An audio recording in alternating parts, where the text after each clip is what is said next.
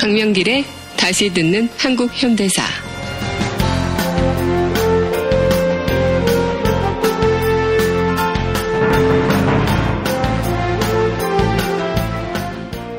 제 61강 1956년 최초의 야권연대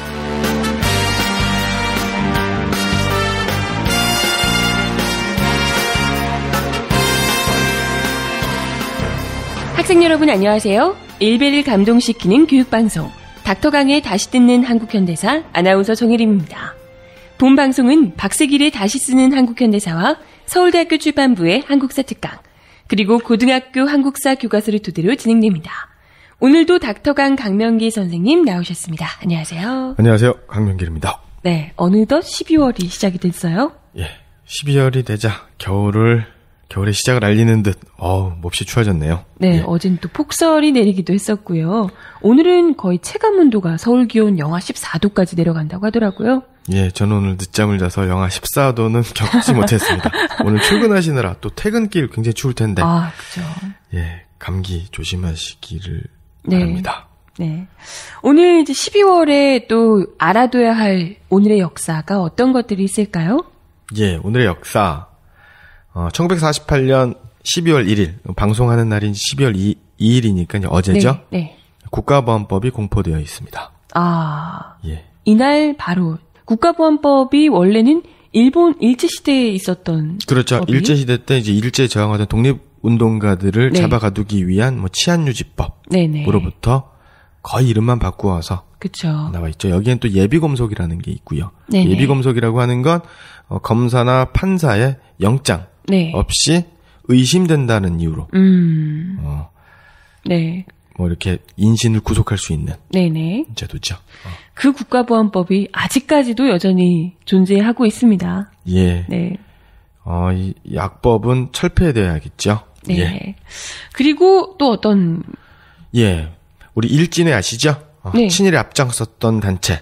네. 어, 1909년 12월 3일 일진회가 어, 일진회 회장이 이용구죠. 민족 네. 반역자 매국노 임시 비상총회를 열고 한일 합방 건의 성명을 채택한 날이기도 합니다. 아, 12월 3일이요? 예. 그리고 그 다음 날 12월 4일 날 일진회 회장 이용구가 뭐 황제, 순종 황제죠. 음. 그다음에 또 어, 조선 통감, 그다음에 또 이완용에게 음. 합방 상주문과 청원서를 제출한 날. 네. 그러니까 일제의 대한제국을 통째로 음. 넘기기 위한 요식행위가 아. 본격적으로 어, 시작이 되었다. 라고 네. 볼 수가 있는 거죠. 네. 아, 참, 그렇군요. 이게, 이제, 한일 합방을 정말 뭐, 어떻게 해주세요 하고 청원하는 개념이 아니라, 정말 일종의 절차였을 뿐이지, 실질적으로는 그냥 밀어붙였던 거잖아요. 황제가 뭐 어떻게 거부할 권한이 있었던 거예요. 예, 맞습니다. 그 당시 이완용의 그 비서였던, 개인 네. 비서였던, 원래 일진회 간부였었는데요. 음. 일진회가 그 이완용하고 조금 사이가 멀어집니다. 음. 왜냐면 또 이완용은 이토 히로부미랑 이제 붙었고요. 음. 그 다음에 그 일진의 그 송병준 같은 네네. 사람은 그 일본 군부 세력, 어. 육군성 세력하고 이제 붙은 거예요. 아, 거기도 또 권력이, 아, 그렇죠. 권력 다툼이 있었군요. 예. 어. 그때 그 이인직이 판단을 잘한 거죠. 네. 어, 개인적으로 판단을 잘해서 이완용에게 붙습니다. 어. 그리고 그 일본과 네. 이완용을 대신해서 음. 그 나라를 팔아먹는 매국 네. 협상을 시작하게 되죠. 그래서 네네. 뭐 귀족 자기를 받는다거나 음. 고위 간직이라든가 은사금이라든가 네네. 어, 나라를 팔아먹은 대가로 어떤 것을 받을 것이냐라고 네. 하는 거예요. 어, 여기에 어, 또 다 알고 계신 사실이기도 하지만 어, 국민매국노 이완용은 일본어를 할 줄 몰랐습니다. 네. 그래서 국비 유학 어, 고종 황제의 어, 은혜를 입고 네네. 국비 유학생, 국비 장학금을 받고 일본 유학을 했던 이인직이 음. 이완용을 대신해서 나라를 팔아먹는 매국 협상에 임했었던 거고요. 네. 그러므로 이제 어, 이인직은 승승장구하게 된 거죠. 네. 예. 참. 뭐 근데 이인직이 그쪽으로 붙지 않았더라도 또 다른 누군가가 뭐 그 자리를 대신해서 나라 팔아먹는 일에 앞장서지 않았을까 생각이 그러- 들기도 하고요. 예. 예. 그런데 이제 그런 말씀은 대단히 좀 위험한 말씀입니다. 왜냐하면 예. 친일파들이 보통 그래요. 내가 아니었어도 다른 사람이 나라를 팔아먹지 않았겠느냐. 아 그렇군요. 어, 이런 논리는 좀 우리가 좀 경계해야 될 필요가 있다. 네. 이 그러면, 그러면 이 사람이 아니었더라면 안 그랬을 것이다라고 해야 될까요? 조금씩 늦- 조금이라도 늦춰졌겠죠. 음, 예. 그렇군요. 알겠습니다. 그리고 또 어떤 소식이 있을까요? 예. 오늘의 역사. 어, 12월 8일의 역사를 좀 우리가 좀 주의 깊게 볼 필요가 있는데요. 네네. 어, 1941년 12월 8일 일본군이 진주만을 기습한 날입니다. 아, 그 아, 이- 영화 진주만에도 나왔던. 그렇죠. 이게 바로 이제 태평양 전쟁이 이제 시작된 날이기도 하고요. 음. 네네. 어, 1982년에 네. 어, 오송해 사건, 그게 전두환 정권 시절이죠. 네. 오송해 사건이라고 하는 간첩 조작 사건이 일어나게 됩니다. 아, 12월 8일인가요? 예. 예. 어, 전라북도 군산 제1고등학교의 전현직 교사 9명이 네. 9명을 어, 빨갱이다.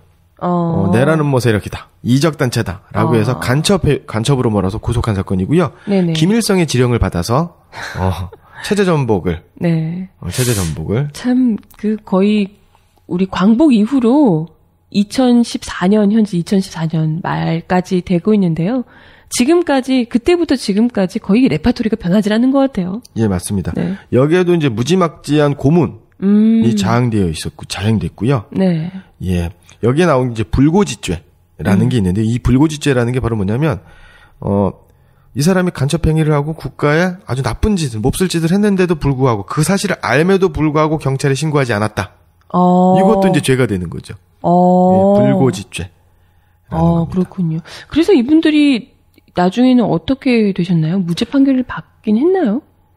예.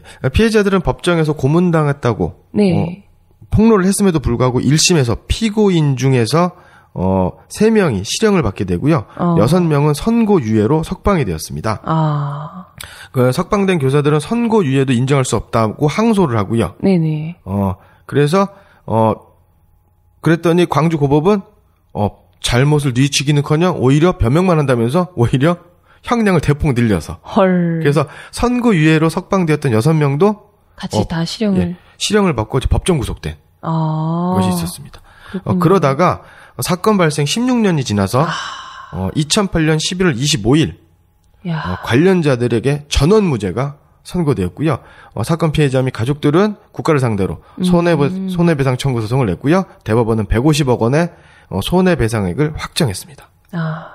근데 한참 지난 다음에 150억을 배상하면 뭘 하겠습니까? 그 시간 동안, 그 16년이란 시간 동안 빨갱이, 그리고 빨갱이 가족들, 이런 식으로 낙인 찍혀서 그야말로 외톨이처럼 사셔야 했을 텐데요. 그렇죠. 이, 고통스럽게. 이 게 바로 이제 분단의 상처가 네.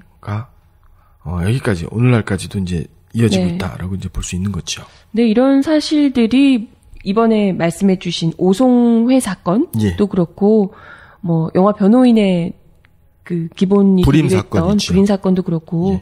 수십 년이 지나서 현재에 와서야 이제 무죄 판결이 받고 있고 한데요. 여전히 그런데 이런 간첩 사건들이 거의 흡사한 도플갱어처럼 똑같은 사건들이 계속해서 진행되고 있더라고요. 예, 맞습니다. 네. 무슨 뭐그 요즘에 그 뭐, 북한에 다녀와서 여행 기행문을 쓰고 뭐 토크 콘서트를 개최한 뭐, 네네.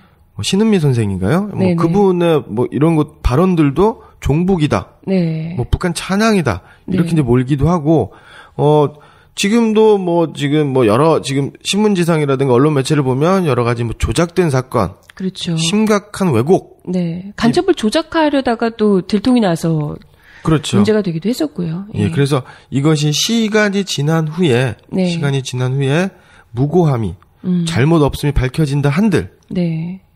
오히려 또 그런 것에는 사람들이 또 언론 그렇게 달라붙던 언론들이 관심이 없더라고요. 예. 어, 미래에 실수를 반복하지 않기 위해서는 현재를 네. 그리고 과거를 바로 보고 그런 것을 진실을 지키기 위한 노력, 정의를 지키기 위한 노력을 네네. 게을리해서는 안 되겠습니다. 네. 이게 또 이제 국가보안법과 관련한 문제인데요. 예, 아까 그렇죠. 이야기하신 12월 1일이 또 국가보안법이 처음에 만들어진 날이다라고 얘기하셔서 상당히 또 의미 깊게 느껴지네요. 이번 한 주, 어, 이러한 오늘의 역사를 다시 한번 짚어보는 시간이 되었으면 합니다. 네. 그럼 61강 함께 이야기 들어가 보겠습니다. 지금 여러분께서는 강명길의 다시 듣는 한국 현대사를 듣고 계십니다. 제61강 1956년 최초의 야권연대 편입니다. 예. 어, 최초의 야권연대가 1956년에 예. 어, 그렇게 오래전부터 야권연대가 있었군요. 어, 야권연대가 실현되지는 않았지만 네네. 어, 굉장히 의미 있는 야권 연대를 음. 어, 하려는 시도가 의, 이- 의미 있는 시도가 있었죠. 네네. 1956년 선거였습니다. 네. 3대 대통령 선거였죠. 하지만 이승만 정부를 꺾진 못했던 걸 보면 야권 연대가 실패로 결국은 돌아갔던 것이고요. 예, 안타까운 일이죠. 지금 지난주도 그렇고 지지난주 한 몇 주에 걸쳐서 저희가 계속해서 이승만 정부에 대한 이야기를 쭉 나눠오고 있는데요. 예, 어, 사실 이분이 일제시대 때도 뭐 독립운동을 실제 하셨는지 어쩐지 모르겠지만 그렇죠. 어쨌건 그 시절부터 활동을 하셨고 예. 또 우리가 어, 정부가 세워지기 전에도 미군정 시기에도 또 활약을 하셨고 예. 어느 쪽으로든 그리고 또 오랜 시간 독재를 하셨기 때문에 제가 좀 길게 이야기를 시기별로 나눠서 또 주제별로 나눠서 이야기를 좀 드리고 있습니다. 예, 1940년대와 50년대를 이승만을 빼놓고는 이야기할 수가 없는 거죠. 그렇죠. 네. 어, 이승만이 독립운동을 했는지 안 했는지 잘 모르겠다. 그리고 했었다고 하는 독립운동의 사실이 정말로 어, 대한민국의 독립에 음. 의미 있는 기여를 했는지 잘 네네. 모르겠다. 네. 어, 이런 표현이 정말 그 틀린 표현은 아니라는 생각이 드는고요. 네. 단적인 예를 들면 어, 우리 그 일제의 그 조선 침략을 정당했었던 미국인 스티븐슨을 네. 어, 처단한 잔, 자, 전명훈 장윤환 선생님이 계십니다. 네네. 이분이 그 미국에서 체포가 됩니다. 네. 스티븐슨을 그 처단을 하고요. 어 그러고 나니까 이제 그 미국에 있는 많은 그 우리 조선인들이 네네. 어 전명훈 선생님, 장윤환 선생님의 구명을 위해서 많이 노력을 합니다. 네. 근데 그 당시에 그 미국에서 유학을 하고 석사, 박사까지 받았다라고 하는 이승만에게 네. 어, 구명, 통역을 해줄 것을, 음. 구명해 줄 것을. 그- 그리고 이- 그 당시 이승만은 많은 미국의 정계, 음. 그 다음에 또 기독교계 인사들과 굉장히 친분을, 그렇죠. 그, 친분을 나누고 있었더니 그 전도 유망한 한국의 미래 지도자다. 음. 네. 이런 사람이었는데, 어, 이승만은 어, 전명훈 선생님과 장인환 선생님의 변호, 통역을 거부하죠. 그렇죠. 왜? 테러리스트이기 때문에 네. 나는 테러리스트를 지지할 수가 없다. 그리고 이렇게 미국인들 어 전명훈 장인환 선생의 행동은 음. 조선의 독립에 아무런 도움이 되지 않는다. 네. 라는 이유를 냈었죠. 그렇죠. 뭐 안중근 선생님과 관련해서도 테러리스트이기 때문에 뭐 예. 예. 하지만 이승만 때문에 의해서 이승만의 직접 간접 개입으로 테러로 목숨을 잃은 분들이 얼마나 많습니까? 여운영 선생님 계시죠? 김구 그렇죠. 선생님 계시죠? 장덕수, 네. 오늘 또 이야기해 주실 많은 신익희 분들 선생도 강한 의혹을 받고 있는 거죠. 네, 네. 예. 그렇죠. 아, 아무튼 뭐 그 독립을 했는지 안 했는지는 우리가 독립운동을 했는지 안 했는지는 다대사에서 지난 회차에서 수차례 이야기를 좀 드려왔었고요. 지난주에는 저희가 경제 활동, 예. 어, 경제 활동을 어떻게 미군정 미군정이 아니라 미국으로부터 우리가 그쵸. 원조 견제를 바- 해서 막대한 양의 그 네. 경제 원조를 받죠. 네네. 그럼에도 불구하고 1950년대와 60년대는 어, 북한에 네. 비해 어, 경제력이 그렇죠. 굉장히 그 비교적 비교했을 때 북한과 남한의 네. 경제를 비교했을 때 굉장히 북한 북한에 비해서 남한이 열악한 상태였었다는. 거죠. 예. 정말로 이. 원조 경제가 어 정말로 우리 국민들에게 어떤 도움이 됐는지 네. 누구를 배불리고 누구를 살찌웠는지를 판단할 필요가 있지 않나라는 생각이 들고요. 오늘 말씀드리는 것은 네. 이러한 그 국면에서 어, 국면에서 이승만 독재를 몰아내기 위해서 네. 저항하기 위해서 어떤 노력을 기울였는지 에 대해서 좀 알아보려고 합니다. 네, 이건 이제 좀 정치적인 이야기를 좀 해볼 텐데요. 예. 정당들이 어떻게 야권 연대는 과연 어떻게 이루어지려고 했었고 어쩌다가 예. 실패하게 됐고 또 선거가 어떤 식으로 치러졌는지 이런 이야기들을 같이 하면 좋을 것 같습니다. 굉장히 좀 복잡한 그 사이에 전쟁도 일어나고 했기 때문에 정치적으로 보통 혼란스러운 상태가 아니었을 거예요. 예. 네, 그런 이야기를 같이 나눠보면 좋을 것 같습니다. 예, 그러면 우리나라 첫째, 어, 우리나라의 역대 대통령 선거에 대해서 좀 알아볼 필요가 있는데요. 네네. 어, 제 1대 대통령 선거는, 어, 대- 국민들이 직접 선거로 뽑은 게 아니죠. 네. 재헌의회에서 국회의원들에 의해서 간선으로. 네네. 그래서 이승만이 네. 대통령으로 당선이 됐었던 거고요. 그렇죠. 그리고 나서 바로, 곧바로 6.25 전쟁, 한국 전쟁이 발발하게 되는 거죠. 네. 예. 그러고 나서, 어, 2대 대통령 선거를 해야 되는데, 네. 2대도 직접 선거가 아니었던 거죠? 그렇죠. 네. 그러니까 1952년에 그 대통령 선거를 해야 되는데요. 직접 선거가 원래는 아니었어요. 네. 아니었는데 네. 직접 선거로 선거법을 바꾸죠. 개헌을 아, 하게 됩니다. 이승만 대통령이? 예, 이것을 이제 발췌 개헌이라고 하는데요. 네. 이 전쟁 국면이게 됩니다. 네네. 근데 여기는 이승만은 우리가 알다시피 친일 자본가, 친일 쥐주들의 이익을 대변하는 정당인 한민당과 네. 이승만이 결탁을 해서 권력을 잡게 되는 거죠. 그렇죠. 그런데 이승만의 어떤 전제적인, 그러니까 왕처럼, 네. 어, 왕처럼 국제적인? 예, 이런 모습을 보이니까 한민당, 이승만을 지지했던 한민당에서 음. 대대 반발이 일어나게 되는 겁니다. 네. 반발이 일어나게 되는 거고, 그리고 또 그러한 과정에서 어, 한민당이 이탈을 하게 됩니다. 음. 그러니까 이승만은 자신의 어떤 지지 세력을 만들 필요가 있는 거죠. 그렇죠. 래서 만든 정당이 바로 자유당이 되는 거고요. 네. 그리고 전쟁 국면으로 가면 갈수록 자유당에서도 이승만에 대한 반발 세력, 이탈 세력이 생기는 거예요. 음. 네. 그래서 원내 자유당, 원외 자유당 음. 여러 분파가 생기게 됩니다. 네네. 그리고 이승만 독재가 점점 점점 강화되고 어 국민들의 삶을 피폐하게 음. 하니까 반 이승만 연대 전선이 아. 형성이 되는 거예요. 네네. 그러니까 어떤 이데올로기라든가 정책이라든가 이런 게 아니라 이승만 독재에 저항해야 되지 않겠느냐. 네. 그래서 정당이 생기는데 한민당 세력이 주축이 된 민국당 이 음. 생기게 되는 거고요. 그다음에 또 네네. 어, 자유당에서 이승만 정권에 있었던 사람들 중에서 이탈한 세력, 네네. 그다음에 또 사회주의 공산주의 계열의 사람들이 모여가지고 네네. 만들려고 하는 그 새로운 정당을 만들어서 이승만에 대항하자라고 하는 음, 반 이승만 계열이 모두 다 모여라. 약간 이런 식으로 생각할 수가 있을 것 같아요. 예. 그리고 이제 그때 이제 총선에서 음. 국회의원 선거를 하는데 이승만의 그 지지하는 사람들이 음. 압도적으로 열세에 몰리게 됩니다. 음. 무소속이 한 65%, 70% 가까운 무소속 국회의원이 당선이 돼요. 어, 예. 국회의원들이요? 그러니까 어 국회 국회에서 하는 의회에서 하는 간접 선거 방식으로는 네. 대통령 선거를 치러서 이승만이 당선될 가능성이 없는 거죠. 아, 그래서 직선제로 바꾸겠다고 발췌견을? 예, 그렇습니다. 그러니까 아. 87년 6월 민주항쟁 때 네. 어, 그 통일주체 국민회의에서 하는 대통령 간선제에서 직선제로 간 것과는 굉장히 다른 거죠. 아, 그렇군요. 예. 이게 뭐, 국민들이 나라의, 나라의 주인이기 때문에 뭐, 투표권을 주겠다, 이런 개념이 아니라, 자신이 대통령으로 연임될 가능성이 떨어지니까, 예. 일부러? 그것도, 그때 당시가 지금 전쟁 국면인 거잖아요. 전쟁 그렇죠. 중이니까. 예. 전쟁 중에 당연히, 그래도 어찌됐건 대통령에 대한 지지를 보낼 수밖에 없는, 지금 뭐 전쟁이 일어나고 있는 상황이니까. 예. 네. 그러니까 요때가 이제 1952년인데요. 네, 네. 어, 그 전쟁을 통해서 그 심각한 위협 세력을 제거합니다. 이승만은. 그게 네. 바로 그 여순 반란 사건, 네, 여, 그렇죠. 순 반란 사건이라고 하면 안 되죠. 여순 항쟁. 네네. 그 다음에 어, 이것에 촉발된 계기가 된 그 사사망. 4.3, 예. 제주 4.3 항쟁. 네네. 그 다음에 또 무슨 뭐 보도연맹 사건이라든가 네네네. 뭐 이런 사건들이 일어납니다. 그래서 이승만 독재가 이승만 정권이 정권 재창출, 집권 음. 연장이 될 것 같은 같았는데 네네.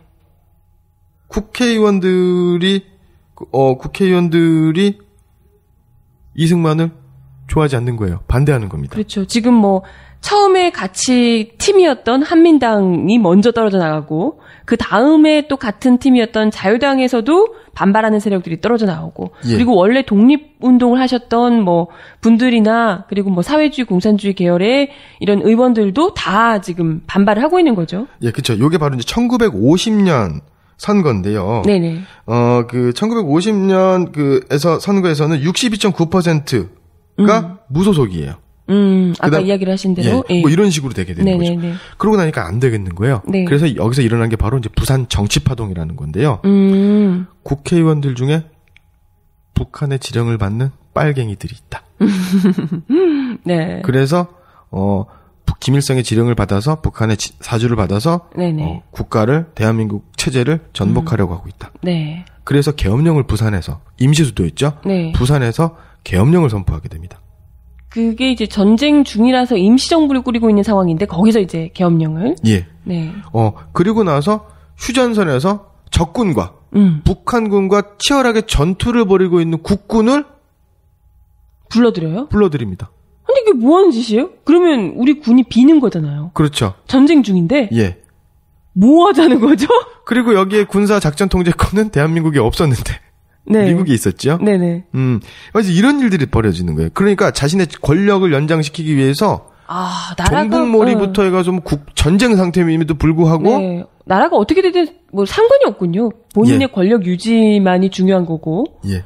어. 그래서 국회의원 반대하는 자신을 반대하는 국회의원 10여 명을 감금하고 어. 뭐 횡포를 부리게 되는 거죠. 네네. 그래서 이제 대통령 직선제로 바꾸는 게 이게 바로 이제 발췌 개헌. 아 이때 이렇게 됐단 말씀이시죠. 예, 그렇게 하, 게 되고 어 발췌 개헌을 7월 4일 날 통과시킵니다. 네 네. 그리고 나서 어, 시- 열흘 있다가 7월 15일 날 정부 대통령 선거법을 통과시키고요. 그것을 18일 날에 공포하고 음. 18일 날 공포하고 나서 8월 5일에 대통령 선거를 하겠다. 어. 그러니까 굉장히 18 신속하게. 예, 18일 동안 어. 대통령 선거를 해야 되는 거예요. 네네. 이게 물리적으로 가능하지가 않죠. 그렇죠. 그 이야기는 곧 이승만을 반대하는 정당이라든가 단체라든가 음. 어, 정치인들의 어, 대통령 막는 거군요. 그렇죠. 대통령 선거를 못 하게 하는 거죠. 음. 그러니까 이승만 대통령은 원래 대통령이니까 국민들이 모를 수가 없고 그러면 나머지 야권에서 누군가 후보가 나오면 그 후보가 국민들에게 대통령 후보로 나왔다는 걸 알리려면 예. 어찌됐건 상당한 기간이 요즘처럼 SNS가 있는 것도 아닌데 그렇죠. 상당한 기간이 필요한데 그 기간을 18일밖에 주지 않았다는 거잖아요. 예, 맞습니다. 안 된다고 봐야죠, 그건. 예, 그러니까 그 이제 야권에서는 네. 대통령 후보 이제 이시영 그러니까 그, 그 우당 이제 저 뭐야, 이회영 선생. 예, 이회영 선생님의 그 형제죠. 네. 어, 국무총리를 지냈었던 이시영 선생님이 네 네. 이승만 독재에 저항하기 위해서 출마를 음. 하려고 합니다. 네네. 그리고 어, 조병옥 부통령 후보의 조병옥. 어. 예, 근데 이제 그 민국당은 이제 한민당이 후신 아닙니까? 네네. 이렇게 내려고 하는데 어, 이시영 조병옥을 낼 생각 자체를 안 합니다. 왜냐하면 이런 선거 일정에서 후보가 내봐야 음. 이승만 독재 정권을 인정해주는 음. 이승만이 당선되는 것을 용인해주는 꼴밖에 되지 않는다. 음. 그래서 이런 안 선거에 되는군요. 참석할 참가하지 않겠다라고 네네. 합니다. 원래는 내려고 했으나. 예. 뭐 이길 어차피 이길 수 없는 싸움에 도전할 필요가 없다라는 판단을 아, 한. 거죠. 예. 그런데 이때 최초 이- 이때 54세의 나이로 무소속으로 출마한 네. 사람이 있습니다. 어. 이게 바로 조봉암 선생인 거죠. 아. 예. 뭐 택도 없었을 것 같은데요. 예. 그, 18일밖에 안 되는. 그래서 네. 조봉암 선생님이 그 이런 말씀을 하죠. 대통령 선거 출마하면서 응. 나는 대통령이 되리라고는 생각하지 않고 있다. 음. 다만 이 대통령과 응. 싸울 사람조차 없다면 음. 국민이 너무 불쌍하다. 아. 독립투사로서의 이승만은 존경하나 행정수반으로서는 적격이 아님이 드러났다. 음. 나는 이 대통령에게 이 대통령에 대한 국민의 실망을 대변하기 위해 선거전에 나선다. 네. 이렇게 해서 이제 후보가 되는 겁니다. 네네. 그러니까 민국당이 이제 급해지는 거죠. 어. 후보를 안 내기로 했는데. 네네. 그래서 이시영으로 이시영 후보를 내지요. 어. 예. 그런데 그러고 네. 나서 이제 한 명의 후보가 더 나오게 되는데요. 음. 이 이승만과 그 이승만을 포함한 네 명의 후보 중에서 조봉암 선생이 가장 인지도가 좀 떨어졌어요. 음. 떨어졌는데 아무런 조직적 기반도 없고 무소속이니까. 음, 음. 그런데 79만 표. 음. 전체 유효 투표의 11%. 어. 그래서 이 민국당의 이시영 후보가 10%예요. 아, 더 많이 나왔어요? 그렇죠. 야. 어, 이승만이 총 유효 투표의 74%를 네네. 얻게 되니까 2등을 하게 되는 거죠. 어. 그리고 경남하고 서울에서는 어 경남에서 그 경남에서 경남하고 서울 지역에서는 야- 나머지 야권 후보 두 명보다 두 명 합친 표보다 더 많은 표를 얻게 되는 거죠. 어. 대단하네요. 그런데 이제 조봉 선생 우리가 알기에는 과거에 사회주의자, 음. 공산주의자다. 네네. 독립운동을 하셨던 분이죠. 그렇죠. 예. 그렇게 알고 있지 않습니까? 그렇죠. 공산주의자. 뭐 예. 이렇게. 그런데 우리 우리가 이제 조봉암 선생님한테 잘 모르고 있는 부분들이 있어서 음. 이 조봉암 선생님에 대해서 이제 말씀을 좀 드려야 되는데요. 이 조봉암 선생님은 사회주의자, 공산주의자였다가 어 사회민주주의자로 전향을 하는 음. 분이죠. 어. 그럼 잠깐 이걸 이야기를 좀 하고 가면 좋을 것 같아요. 예. 그러니까 지금 언뜻 듣기에는 특히나 우리 애청자분들께서도 약간 혼란스러우실 텐데 이게 좀 정치적 개념, 뭐 경제적 개념 이게 다 섞여 있어서요. 예. 공산주의와 사회민주주의는 뭐가 다른지 그리고 보통 막 쓸 때 공산주의, 사회주의, 자유주의 뭐 이런 얘기들이 막 쓰잖아요. 이게 예. 그럼 전향을 한 건지 예. 뭐 어떻게 다른지를 좀 얘기를 해주시면 좋을 것 같아요. 어, 조금 이제 어려운 이야기인데 이거를 뭐 짜- 짧은 시간에 설명드리기는 네네네. 좀 어려운데 이제 간략하게 대략적으로 네, 딱 음, 느낌만 올수 예. 있게 해주시면 좋을 것 같아요.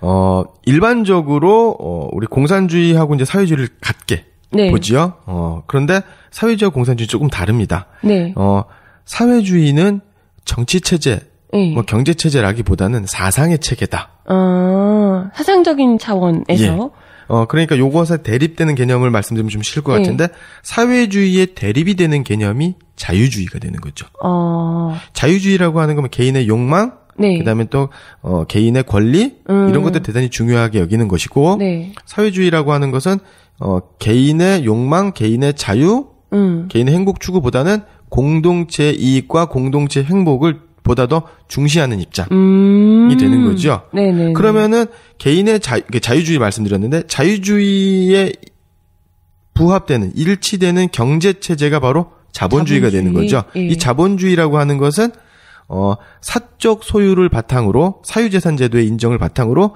음. 개인의 이윤 추구를 네. 보장하는 네. 자기가 버는 돈 자기가 가지는. 그렇죠. 그렇죠. 예. 경제 체제죠. 그러니까 자유주의하고 자유 자유주의가 사상 체계다라고 하면 네. 자본주의는 그것을 바, 바탕으로 하는 경제 체제다라고 어. 볼수 있는 거고요.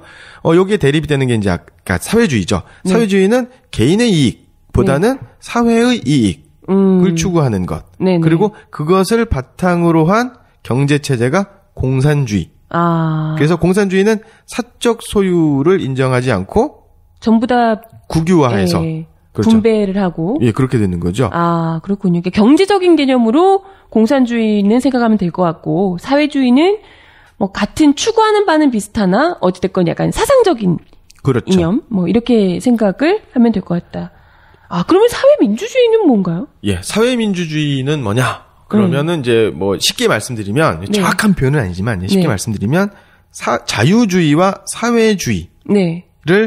어, 절충한 그러니까 음. 사회주의의 문제점 음. 개인 재산을 인정하지 않다 보니까 개인의 어떤 그 어떤 그 성취 동기 네네. 뭐 이런 것들이라든가 뭐 창의적인 것들 좀 네. 떨어지지 않느냐 좀 자유를 억압하는 부분도 있고. 그렇죠 예. 뭐 이런 것 그래서 자유주의하고 사회주의를 약간 그 절충시킨 음. 것이다라고 보면 되는 거고요. 그러한 정치 체제가 이제 사회민주주의 체제인 거고요. 음. 우리가 보통 얘기하는 이제 뭐 그 뭐 대학 교수님들이나 이런 분들이 뭐 유럽식 사회민주주의 복지국가 아. 뭐 이렇게 얘기하는 뭐 노르웨이, 덴마크, 뭐 네. 핀란드, 스웨덴 뭐 이런 나라들을 네. 얘기하는데요. 아, 자유주의를 추구하는 나라이긴 하지만 여기서 좀 복지라든지 이런 사회 구성원들 중에서 좀 도태될 수 있는 이런 분들을 이렇게 받쳐주기 위한 안전망들을 최대한 많이 고민하고 이러한 분들을 또 위해서 노력하고 있는 이런 유럽 국가들 예. 보통 보면 복지 정책을 많이 또 하고 있는 세금을 많이 내게 하고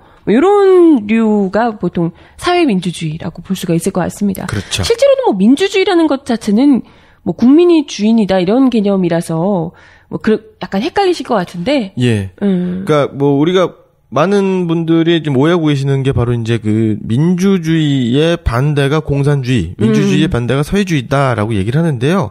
어, 그것은 뭐 정확한 표현이라고 네. 보긴 좀 어렵습니다. 네. 우리가 보통 얘기하는 민주주의는 이제 선거에 의해서 대표자를 뽑는 건데요. 음. 어, 우리나라 예 예를 들어 봅시다. 우리나라 네네. 예를 들어 봐도 대통령 선거든 무슨 뭐 그 국회의원 선거든 간에 선거를 통해서 이제 국민의 대표자를 뽑지 않습니까? 네네. 그런데 그 대표자들 중에서 몇 명이나 제대로 된 대표자였고 몇 그쵸. 명이나 국민을 위해서 나라를 위해서 네. 선거에도 온갖 불법이 많은 판을 치는 그런 나라기 때문에요, 우리가. 예.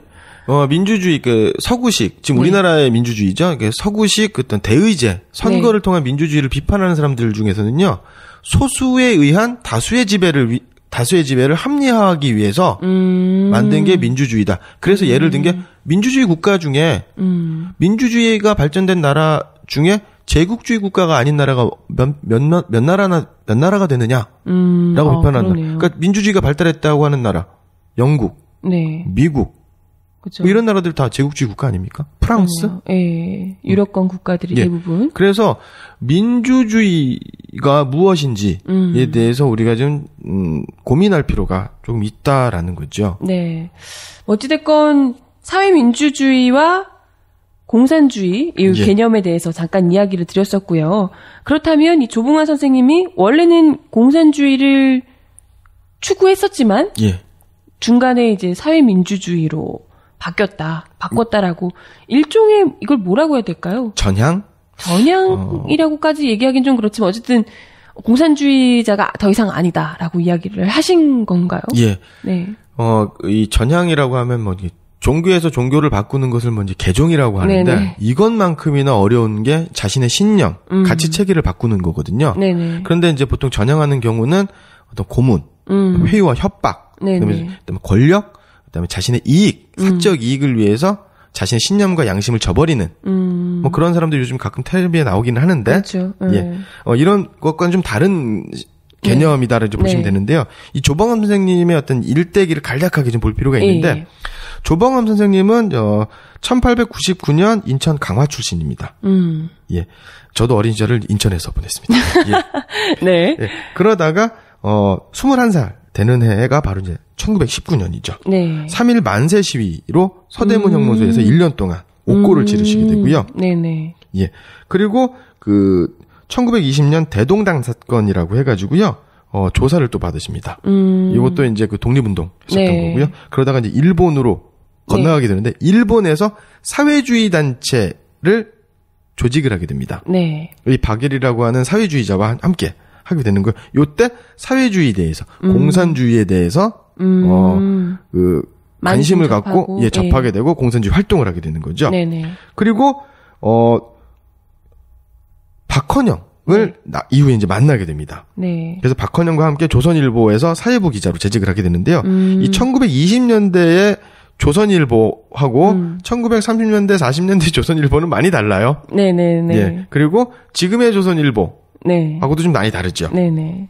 그러다가 어 조선공산당을 결성을 하게 됩니다. 네. 그리고 어 그 소련 공산당이라든가 국제 공산주의 운동 음. 그래서 공산주의 이론의 어떤 그 주요한 어 음. 이론가로 성장을 하게 되는 거죠. 어. 그래 예.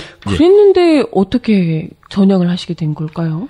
예. 이 결정적인 계기가 결정적인 네. 계기가 바로 이제 해방 직전이 네네. 되는데요. 네. 어 그 조방한 선생님의 일대기를 한 세 부분으로 좀 나누게 되면은요. 네. 음, 첫 번째로는 독립운동의 시기. 네. 그러면서 이때 독립운동의 한 방편으로 사회주의, 공산주의 음. 운동을 하셨던 분이고요. 네네. 그리고 또 어, 광복 직후의 어떤 뭐라 그럴까 어 자신의 진로, 민족의 미래, 국가의 장래를 위한 탐색하는 기간이 조금 음. 있었고요. 그러다가 어, 1948년 이후에 본격적인 정치를 음. 정치 활동을 했던 시기가 있습니다. 네네. 어 해방 전후에 네. 박헌영에게 네. 박헌영에게 편지를 보냅니다. 음. 편지를 보냈는데 편지 제목이 바로 존경하는 박헌영 동무에게 음. 라고 하면서 어 공산주의를 비판하게 되고 자신의 사상이 바뀌었음을 어. 공개적으로 이야기를 하게 됩니다. 어. 와, 그거 쉽지 않을 것 같은데요? 예, 맞습니다. 예. 어 우리가 지금 알 필요가 있는 것들 중에 하나가 바로 뭐냐면 일제 강점기 때 음. 예, 사회주의 공산주의자들은 왜 사회주의자가 되었고 공산주의자가 되었느냐라고 음. 보면 어, 이 공산주의라고 하는 것이 원래 사회주의라고 하는 것이 네. 어떤 제국주의에 대항하는 제국주의에 저항하는 하나의 방법이었다라는 거죠. 그래서 어 제국주의에 저항하기 위해서 민족의 독립을 쟁취하기 위해서 음. 사회주의 음. 체계로 조직을 건설해서 일제 저항하는 적극적인 저항 투쟁을 하는 음. 것이 되는 거죠. 아, 원래는 공산주의 운동, 사회주의 운동이 사실은 그 계급자들 그리고 자본주의 자본가들을 그렇죠. 상대로 해서 프롤레타리아 혁명, 그러니까 뭐 이런 이제 자본가에 맞서서 싸우는 그런 그렇죠. 혁명을 일으키는 개념이라면 국내에서는 우리가 사실 또 자본가들이 다 일제 예, 였기 그렇죠. 때문에 친일 자본가였죠. 예, 친일 자본가들이고 그랬기 때문에 그들에 맞서 싸우는 개념이 당연히 좀 일종의 프롤라, 프롤레타리아 혁명이라기보다는 독립운동 형식으로 어, 좀 더 강하게 나올 수밖에 없었을 것이다 이런 생각이 들긴 하네요. 예, 맞습니다. 네. 여기서 이제 그 박헌영 선생, 에, 그 조봉암 선생님이 박헌영 네. 선생과의 어떤 결별을 선언하게 되는데요. 네네. 요것은 이제 그 동아시아, 우리나라, 일본, 중국, 소련의 음. 그 공산주의 운동의 변화를 좀 볼 필요가 있습니다. 어, 어. 예. 어, 그, 소비에트, 그, 공산, 혁명이 일어나서 소, 소비에트 연합 즉 소련이 만들어지게 된 것은 레닌 시대죠. 네. 어 레닌 의 후계자가 바로 스탈린입니다. 그렇죠. 근데 레닌이 주창했었던 공산주의하고 음. 스탈린의 공산주의가 상당히 좀 달라요. 어, 이것은 공산주의 사상의 문제가 아니라 스탈린과 레닌의 차이가. 개인의 차이. 예, 맞습니다. 예. 어, 그러니까 레닌 시대에는 프롤레타리아 국제주의 시대 라고 음. 하는데요. 이게 바로 뭐냐면 각국의 공산당의 관계가 수평적인 동지적인 관계였어요. 아, 모든 어떤 뭐 중국 공산당도 뭐 소련 공산당도 그렇죠. 조선의 동- 공산당도 다 똑같다. 그 평등한 아. 입장이었다라는 거죠. 어, 네네네. 그, 그게 왜 그러냐면 어, 이 공산주의자 공산주의라고 하는 것이 어, 자본가 계급에 의해서 네. 어, 제국주의에 의해서 어, 농민과 그 노동자들이 고통받고 있다. 네네. 그래서 이러한 어떤 어, 수직적인 그 정치 질서와 사회 질서를 개혁하지 않으면 음. 노동자 농민들은 이렇게 굉장히 처참한 생활을 음. 하게 된다. 이것을 극복하는 거니까 어떤 계급의 어떤 어떤 그 수직적인 관계라기보다는 수평적인 관계가 더 중요하다라는 거죠. 그렇죠. 원래 원래 이론대로라면 그게 정상이죠. 그렇죠. 예. 그런데 이것이 이제 스- 스탈린 시대로 가면서 네. 명령을 하고 명령을 받는 수직적인 관계. 이건 스탈린 개인의 문제인 거죠. 아, 이게 그러면 러시아를 중 아니 소련을 중심으로 소련이 왕인 것처럼 그렇죠. 그러니까 네. 사회주의의 공산주의의 종주국이므로 중국의 공산당, 일본의 공산당, 뭐 조선의 공산당, 뭐 유럽의 공산당들은 어. 소련의 지도를 받아야 되고 스탈린의 스탈린과 스탈린 지도부의 명령에 충실하게 아. 복무해야 된다. 네. 라고 하는 거죠. 그럼 원래 이론하고도 안 맞는 것 아닌가요? 그렇죠. 네. 그래서 그 사회주의자들이 스탈린을 그 스탈린의 공산주의에 대해서 대단히 강하게 이제 비판하고 있는 것도 사실이고요. 아, 그렇군요. 예. 그래서 실제로 스탈린은요, 스탈린은요, 그 중국 공산당의 그 모택동을 네. 제거하려고도 했었습니다. 아, 동지적 관계여야 되는 거 아니에요? 당연히. 그렇죠. 그런데 제거를 하려고 해요? 예. 어. 어, 그리고 이제 그 우리나라에 네네. 우리 민족의 그 공산주의자를 대표적인 사람이 우리 잘 알고 있는 사람이 이제 김일성. 음. 북에는 김일성, 남에는 박헌영. 네네. 그다음에 조봉암. 조봉암은 대단한 이론가였거든요. 네네. 뭐 이러다가 이러다가 또 또 박헌영의 어떤 그 권위주의적인 모습도 음. 있었고요. 박헌영은 실제로 김일성의 어떤 김일성과 그다음에 또 어, 자신의 이익을 위해서 대단히 좀 이렇게 많은 잘못을 저지르기도 하죠. 음. 어. 실제로 박헌영 밑에는 뭐 이강국, 이승엽, 이승엽이라고 하는 미국의 간첩이 있었어요. 어. 그런데 간첩을 대단히 두둔하게 되고요. 어. 그 다음에 김일성한테 이런 얘기를 합니다. 어, 북 남한에는 남조선에는 어 자신의 명령을 따르는 사람들이 굉장히 많다. 그래서 일단 내려만 남 공격만 해서 내려오면 어 봉기가 일어나 가지고 어. 공산혁명이 일어날 거다. 약간 스탈린 스타일인데요? 예, 그렇죠. 그다음에 자신이 어. 그 소련 유학파 출신이다라는 아. 걸 내세우면서 대단히 조금 권력욕이 있으신 예, 분이군요. 그렇죠. 그리고 자신의 어떤 지위와 역량을 대단히 과대평가하는 아하. 이런 모습이 좀 있었다라는 겁니다. 네 네 네. 예, 그때 조봉암 선생님은 고민을 하게 된 거죠. 음. 어떤 계급의 문제, 자본가와 노동자 농민의 그런 수탈, 음. 지배와 압박의 문제 도 중요하고 네. 그다음에 또 독립의 문제, 민족의 문제도 대단히 중요한데 네네. 이건 어떻게 해야 될 것이냐라고 음. 고민을 했었던 거죠. 그러면서 이제 결론적으로 말씀드리면 어 내가 사회주의 운동을 하고 독립 운동을 해- 사회주의 운동을 하고 음. 공산주의 운동을 했었던 것들은 바로 조선의 완전한 자주 독립이었다라는 건데 음. 네네. 지금 어 북한은 소련에 의해 소련의 강한 영향력을 받고 있고 음. 남한은 미군의 강한 영향력을 받고 있고 음. 그 남한에 있는 대통령 이승만은 자신의 권력을 위해서 음. 어 우리 국민들을 괴롭히고 있는데 음. 이것은 맞는 것이냐? 음. 그럼 나는 공산주의 활동을 해야 되는 것이냐? 민족주의 활동을 해야 될 것이냐? 음. 라는 고민을 했던 거고 이러한 신념 체계와 가치 체계, 음. 사상 체계, 정치 활동의 어떤 방향에 대한 심각한 고민을 했었다는 거죠. 음. 그래서 그러한 것들이 나타난 게 바로 이제 존경하는 박헌영 동무에게라고 음. 하는 서신이 공개가 되게 되는 네. 사건이 있습니다. 그 서신을 계기로 이제 본격적으로 사회민주주의 자로 그렇죠. 거듭나게 되신 거고요. 예.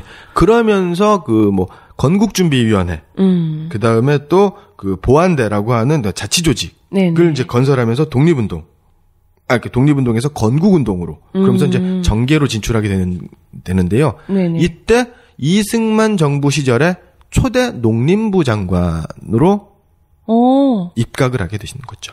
아니 근데 상식적으로는 약간 좀 이해가 안 돼요. 예. 어, 그래도 어찌됐건 이승만 정부에서 반공으로 그렇게 몰이를 해댔잖아요. 빨갱이 몰이를 하면서. 그랬는데, 아무리 약간의 좀 전향 편지, 전향한다는 편지 정도가 공개됐다고 하더라도, 예. 원래 공산주의자였던 사람이고, 예. 사회민주주의도 그렇다고 굉장히 막, 그렇지까지는 않잖아요. 그렇죠. 근데 어떻게 이분이 농림부 장관까지 하게 된 건가요? 그만큼 조봉암 선생님의 독립운동 음. 있었던 경력과 어떤 사상 체계라든가 이러한 것들의 건전성, 온건함에 대해서 이승만으로부터 어, 이승만 정부로부터 인정을 받았다라는 거고요. 실제로 조봉암 선생님이 입각하겠다가 아니라 음. 네. 이승만 대통령이 조봉암에게 음. 입각 해달라? 할 것을 제의하고 입각 아. 교, 섭을 하게 된 거죠. 아, 예. 그렇군요. 그래서 입각 교, 교섭을 할 때 조봉암은 농림부 장관, 사회부 장관 가운데 무엇을 할 거냐라고 이제 선택을 받 이- 어떤 걸 할 거냐 골라라. 음. 이랬을 때 농림부 장관을 선택을 하게 되는 겁니다. 왜 근데 하필 농림부 장관을 하셨을까요? 요것은 그 사회주의 운동을 했었던 이 그 조봉암 선생님의 어떤 그 가치 신념과도 좀 일치하는 부분이 조금 있는데요. 어 그 당시 우리 그 민족의 가장 큰 과제가 두 가지가 있지 않습니까? 친일 청산, 네. 그 다음에 토지 개혁. 아, 이게 그렇죠. 문제인 겁니다. 토지 지금 예. 북에서 북한에서도 자신들이 되게 자랑스럽게 생각하는 것이 두 가지가 바로 이제 친일파 청산, 음. 그 다음에 토지 개혁 아니겠습니까? 음. 어, 이- 이런 게. 그래서 토지 개혁이 대단히 중요한 거죠. 그 다음에 그러면 그 반대 지 대척점에 있던 사람이 바로 친일 지주들 아니었겠습니까? 그쵸. 그 사람들이 바로 한민당이었고 민국당이었죠. 음. 쉽지 않았을 것 같은데. 토지 개혁, 우리 다드사이도 다룬 적 있지만, 그게 이제 거의 다 일본 지주가 갖고 있던 재산들이 우리나라 친일 지주들에게 넘어가고, 뭐 이렇게 하면서 토지 개혁 자체가 굉장히 어려웠다 이야기를 했던 적이 있거든요. 예. 그죠?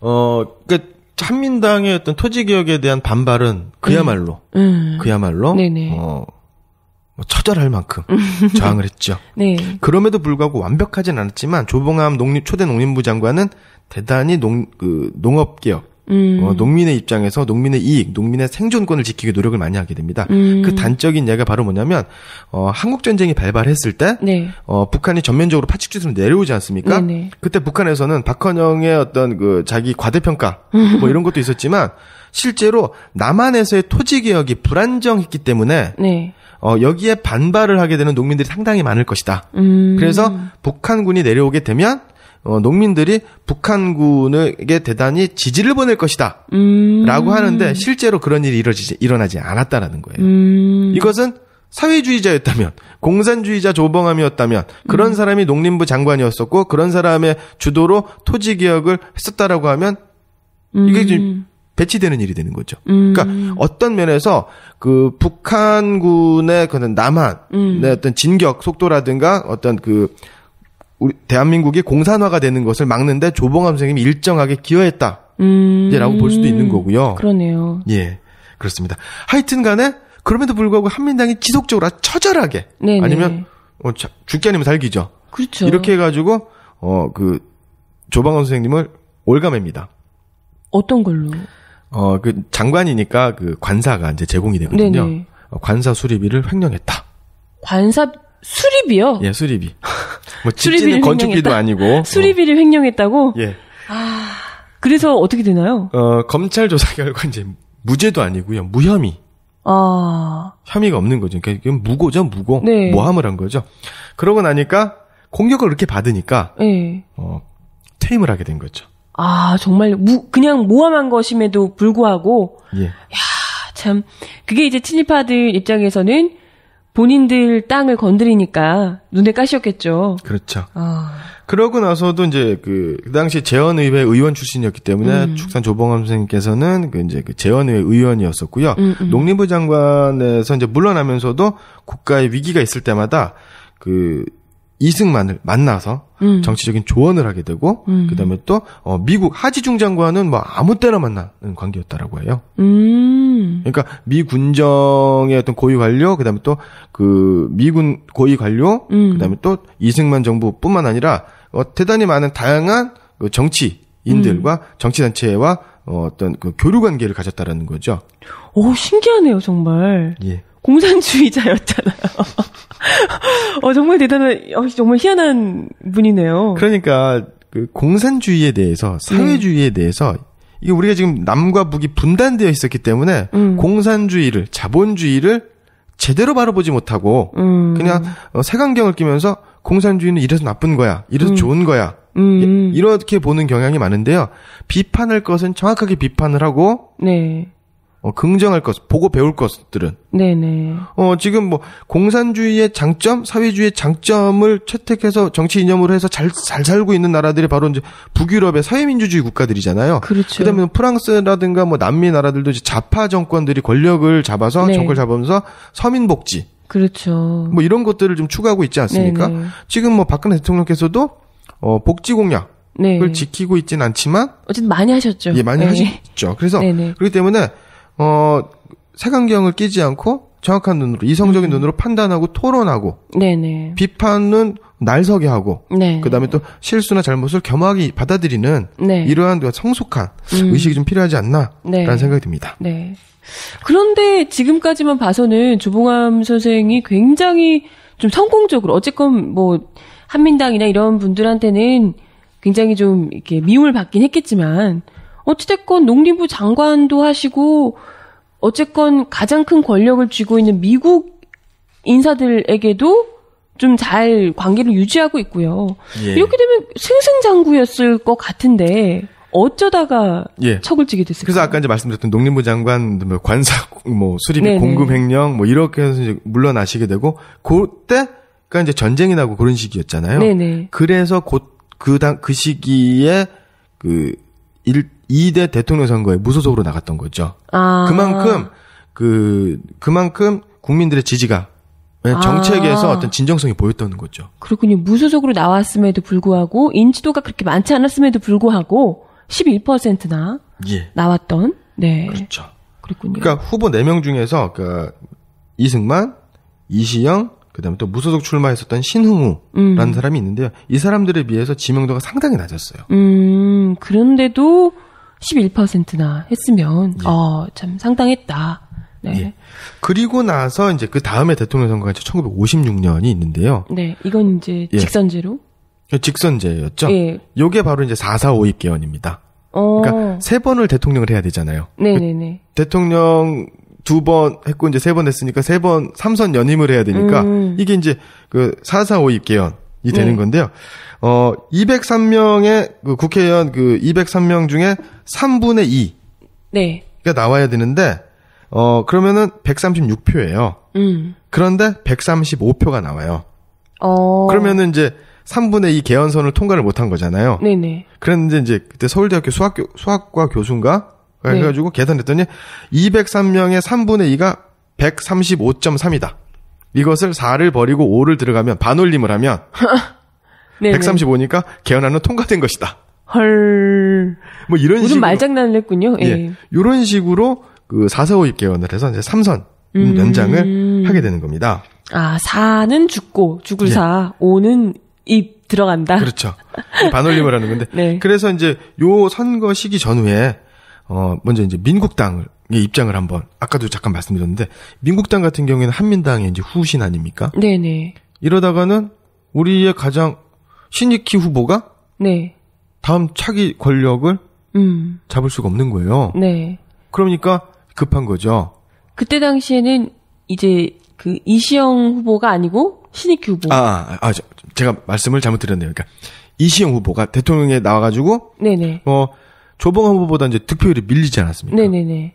이러니까 어 정권 자- 자신들이 저 권력을 차지하기 좀 어려운 겁니다. 음, 음, 음. 그러니까 반 이승만 정권 그러니까 반 이승만 세력들을 직결시켜서 네. 거대 야당을 만들겠다라고 음. 하는데 여기에 당연히 조봉암 선생님도 참가를 하게 되는 거죠. 저 반이승만이니까. 예. 네. 그러니까 이런 거죠. 2대 대통령 선거 때 무려 네. 이시영 선생님 같은 분이 나왔는데도 불구하고 조봉암 선생에게 투표 율상으로 밀린 거예요. 그렇죠. 그러다 보니까 일단 민국당 그때 그렇죠. 민국당이 굉장히 좀 불안함을 느꼈을 것이고요. 예. 그러다 보니까 3대 대통령 선거 때는 2대 때처럼 하면 안 되겠다. 예. 라는 생각을 했다는 거고요. 그렇죠. 제가 네. 아까 이제 이시영 선생님하고 그 다음에 또 신익희 선생님하고 조금 헷갈렸는데요. 예. 그러니까 3대 때 나온 게 신익희. 그렇죠. 예. 예, 그죠? 그 2대 선거에서 어, 무소속에 네.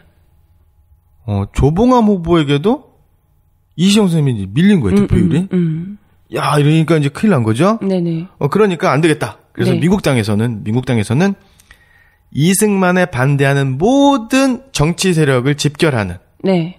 반 이승만 정당을 만들려고 하는 겁니다. 음, 3대 대통령 선거를 위해서. 예. 네. 그래서, 어, 상당히 많은 사람들이 모여요. 음, 그런데 여기에는 조봉암 선생님뿐만 아니라 상당히 진보적인, 진보적인, 네네. 진보적인 정치 단체, 음. 인물들이 대거 네. 참여하게 되는 거죠. 그렇죠. 그렇게 되면은 어 민국당 스펙트럼이 굉장히 넓겠네요. 그렇죠. 그러니까 네. 민국당이 결국 이제 한민당 친일 지주 정당 아니었습니까? 어, 그렇죠. 이런 사람들하고 독립운동하던 사람들, 사회주의 운동하던 사람들, 음. 진보 운동하던 사람들, 절대 무- 이 섞일 수가 없을 것 그렇죠. 같은데. 그리고 거기서 정책 대결을 하고 음. 이렇게 하게 되면은 네. 정당성에서, 네. 정책적 선명성에서, 그렇죠. 그다음에 또 국민들에 대한 어떤 어떤 진정성에서 민국당이 밀리게 되는 겁니다. 친일 지주들이 밀리게 되는 거죠. 그렇겠죠. 예. 그러니까 당연히 그럼 계산이 바- 계- 계산 방법이 달라지게 되는 거죠. 음. 그래서 민국당에서는 혁신적인 사람들, 진보적인 사람들과 정치 단체들을 배제시킵니다. 아, 그럼 조봉환 선생님도 배제가 되는 거군요. 그렇죠. 그래서 어. 만들어진 당이 바로 우리가 잘 알고 있는 역사와 전통을 자랑하는 민주당입니다. 아, 그렇군요. 예. 그러니까 어, 친일 지주정당 한민당이 이승만 자유당 이렇게 연결됐다라고 생각을 하는데 음. 절대 그렇지 않습니다. 음. 어, 친일 지주 네. 어, 일제 부역자들의 정당인 한민당을 계승하고 있는 정당이 바로 민주당. 민주당이다. 네. 여기에 김송수, 김성수, 네. 뭐 이런 사람도 있습니다. 물론 이시영 선생님 독립운동가죠. 네. 어, 지금 말씀드리는 이제 신익희 선생님 같- 같은 경우도 대한민국 임시의정원, 상하이 임시정부 창설에 참여하신 또 어, 그런 분들이 일부 계시긴 하지만 그렇죠. 많이 이제 진보 뭐랄까 공산주의 이런 활동을 하셨던 분들은 이런 분들이 제외한 그렇죠. 몇몇 분들이 계시긴 하지만 대부분이 친일 지주 이런 분들이 많이 포함이 돼 있었다. 예, 그래서 어, 그 친일 지주 정당인 한민당, 민국당을 주도로 했었던 정당이었기 때문에 결국에 민주당은 보수 반공 야당이 될 수밖에 없는. 음. 그러니까 이승만을 찬성하느냐 예. 반대하느냐의 차이만 있는 거지 보수 야당, 음. 친미적이고 보수 반공이라는 성격에서는 똑같다라고 음. 볼수 있는 거죠. 네네 예. 그렇군요. 여기에 이제 민국당 계열의 그 김성수, 신익희, 조병옥, 김도연, 윤보선. 음. 윤보선 같은 경우는 뭐 대통령까지 지냈죠? 네네. 윤보선 같은 경우는 바로 뭐 윤치호의 그 가까운 제가 알- 지금 이제 기억이 좀 가물가물한데 친척이죠. 음. 되게 가까운 친척입니다. 네네네. 윤치호 나라 팔아먹은 사- 매국노 아닙니까? 그렇죠. 예. 예. 뭐 이런 사람들 인 거고요. 어쨌건 간에 혁신계 인사들, 진보적 인사들이 배제가 됩니다. 아. 그래서 만들어진 게 바로 이제 진보당이 되는 겁니다. 아 조봉암 선생이 이끄는 진보당 이름이 진보당인 그렇죠. 거죠. 그냥 진보당입니다. 예. 그러면 2대 때랑 마찬가지 아닌가요? 지금 2대 때 이름만 바뀐 거지. 2대, 2대 때 민국당 그리고 조봉암. 선생님 예. 이렇게 나왔었는데 이번에도 뭐 3대 때도 그걸 걱정해서 반 이승만으로 뭉치겠다라고 해놓고 결과적으로는 진보당 있고 또 민주당 있고 그리고 예. 이승만 이렇게 되면 뭐 2대 때랑 마찬가지가 아니었을까요? 그렇죠. 네. 그리고 오히려 이제 우리가 보통 보통 생각하기에 그 권력에서 음. 이 이승만 정권이 진보당을 탄압했을 것이다. 음, 음. 뭐 그건 뭐 틀린 얘기는 아닙니다. 네. 하지만 여기 앞장섰던 게 바로 민주당이에요. 음. 예.